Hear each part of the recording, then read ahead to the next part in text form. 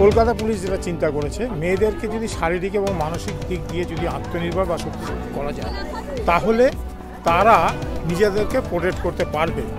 প্রথম যে মানসিক জোরটা এই ট্রেনিংয়ের পরে বেড়ে যাবে এবং তাদের সঙ্গে সমাজে ঘটে যাওয়া অনাচারগুলোর প্রতিবাদ ও প্রথমেই করতে পারবে।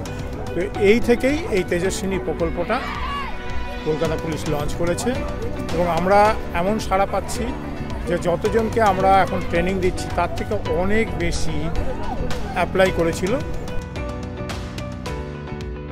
ক্যালকাটা পুলিশ যেটা আমাদের ওয়েব পেজ রয়েছে সেখানে নেটেও মাধ্যমে অথবা ফোন নম্বর দেওয়া থাকে। আর যেদিন এখানে আসে একটা ফর্ম ফিল আপ করে রেজিস্ট্রেশন কোর্স শেষ হয়ে যাওয়ার পর? কোর্স শেষে যাওয়ার পরে ক্লোজিং ডেতে ওদের সার্টিফিকেট দেওয়া হয়। এবং ক্যালকাটা পুলিশের তরফ থেকে Tejaswini T shirt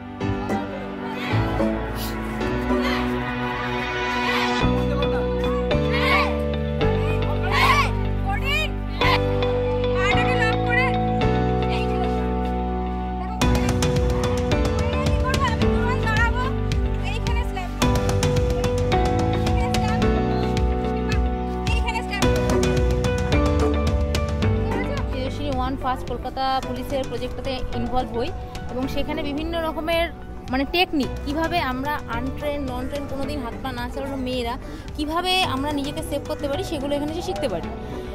thirty first December নাইটে আমি ফিরছিলাম, আমার পরের দিন কাজ ছিল রাত্রের ট্রেনে তো সেইখানে হঠাৎ করে একজন আমার ওপরে ঝাঁপিয়ে পড়ে এবং আমার তেজস্বিনী ট্রেনিং থাকার জন্য আমার সাথে সাথে মাইন্ডে চলে আসে, আমার ডান হাতটা ফ্লেক্সিবল হয়ে সোজা তার মুখে অ্যাটাক হয়ে যায়।